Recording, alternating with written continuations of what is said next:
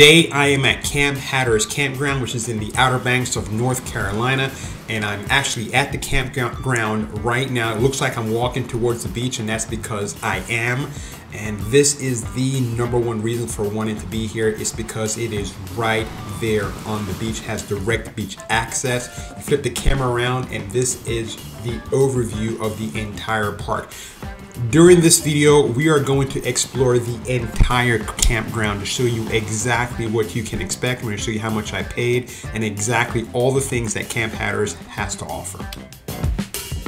One of the things I love about going there is these wonderful views. You're going to drive through all of this stuff on the way there to Camp Hatteras and it gets you in that beach feel, it gets your head in the right space and you get into that vacation mode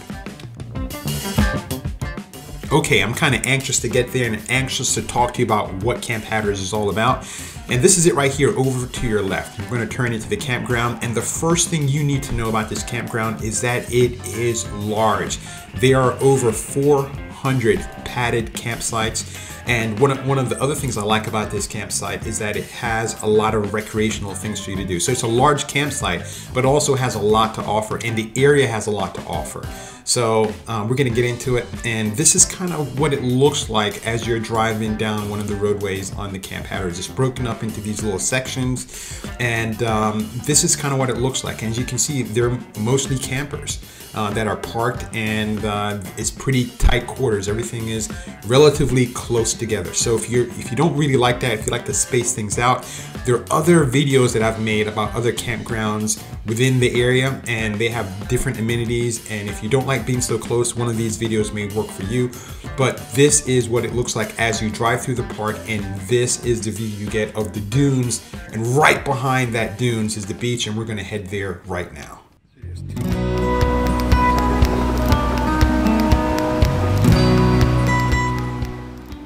I like this little pavilion area because it gives you an area to organize your stuff before you go to the beach and then to kind of regroup once you get back. And it's also good to sit there and have dinner so you can you can hear the, the waves in the background. It gives you that nice, you know, ocean beach feel. This is what it looks like as you walk across one of two beach access points that lead out from Camp Pavilion. And as you can see, the beach is pretty nice. It's a really nice beach, clean, um, the waves are not too strong, the current's not too strong. There's not a lot of people who are fishing over here. So my kids, I felt comfortable with them being in the water. And also, if I'm back at my campsite, I'm not too far away from them if they're at the beach.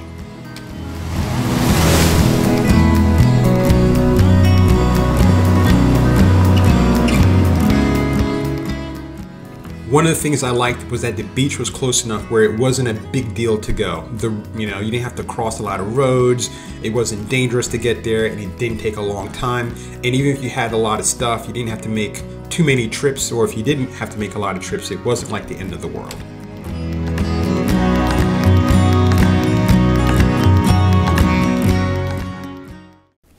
So let's take a look at the bathhouse the thing I have to say about this bathhouse, and I put the sparkles here and the stars for a reason, is because it is so extremely clean. I don't know what they did to this bathhouse or how often they clean it, but every one that I used, it was immaculate. Not only was it super clean, but it smelled fresh um, and it wasn't crowded. They did a phenomenal job with these, and they have them scattered throughout the the uh, you know the park. I think it's a total of 50 acres.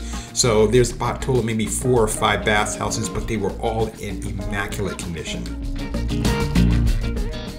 This is one of the few campgrounds in the area that have actually black and gray water hookups so that if you, you didn't want to go to the bathhouse and you want for the convenience of being able to use it within your own uh, trailer, you can just hook it up and no problems there. So this is one of the other benefits of staying at this campground. Now as you can see, there's a whole lot of you know, four-wheel vehicles and trailers. And this is my big tip to you. If you can avoid coming there on the weekends, Fridays, Saturdays, and Sundays, do so because trying to get in this place during that time is very chaotic. Um, it's just a whole lot of movement going on and uh, not the best time. And I just put that clip there so you can see the amount of traffic that's on the roadways if you try to get in. It's like standstill traffic, just avoid it.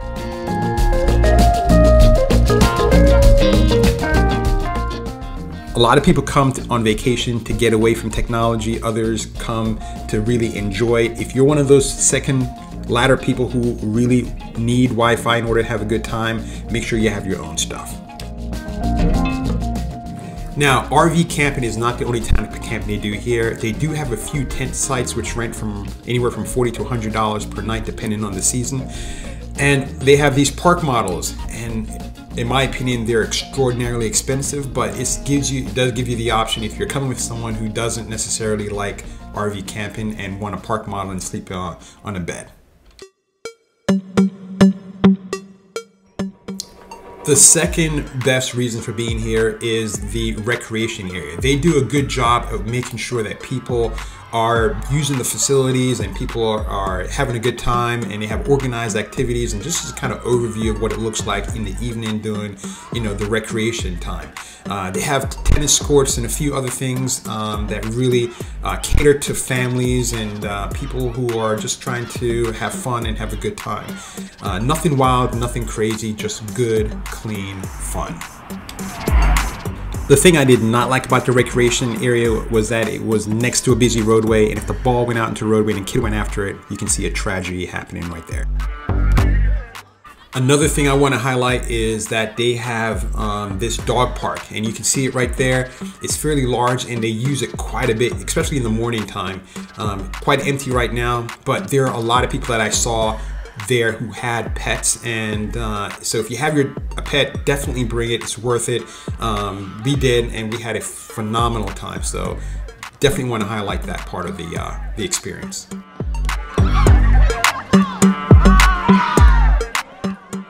On my YouTube channel, I did several videos on other campgrounds in the area.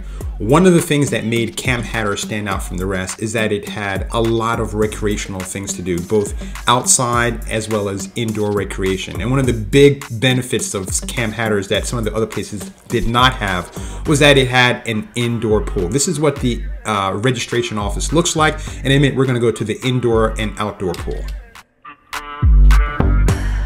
There are shops that are close by, but I like the fact that it had a miniature 7-Eleven with 7-Eleven prices right there on site. Uh, the prices are a little bit elevated, but they're not super unreasonable. I found that the staff there was super helpful in helping me understand not only what to explore at Camp Hatteras, but also in the general area. This right here is the indoor swimming pool. In a minute, we're gonna swing outside and take a look at the outdoor pool. That right there is the jacuzzi. I found the outdoor swimming pool to be nice. The only two things I did not like was that it got a little bit full and it's right next to the roadway, so there was a lot of road traffic. This is the indoor recreation center. The big plus about this is that it is air conditioned. So if you want to get out of the heat and just get a break, this is wonderful. It also has a little mini kitchen area. Now the decor, definitely throwback you know, from the 80s and 90s, but it's a nice spot. Camp Hatteras, they rent bicycles. However, these golf carts, if you if you have the ability to bring them, absolutely bring them because it's kind of like a golf cart community. Also, when it comes to water sports, and we're gonna get into that a little bit more later on in the video, bring your water sports gear because there are areas at Camp Hatteras where you can actually do a small boat launch and we'll take you there right now. Now Camp Hatteras is broken up into two spots. One side is the ocean side, this is the sound side. In order to get to the sound side, you have to cross a roadway which is oftentimes quite busy. We'll get to the sandbox area lately, but as you can see, the uh, ocean, uh, the um, the sound side, in my opinion, just as nice as the ocean side. So there's no real big difference when it comes to quality, but you get this fantastic view, you know, right from the back of your uh, RV, which you do not get at the ocean side, which makes this, in my opinion, pretty, uh, pretty nice if you like the views kind of thing.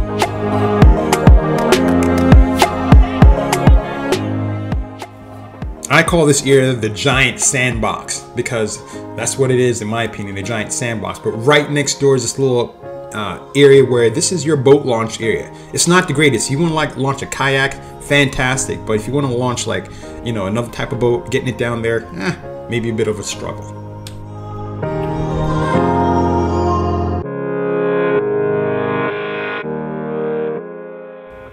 That's all I got folks. Thanks for watching and I hope you enjoyed the video.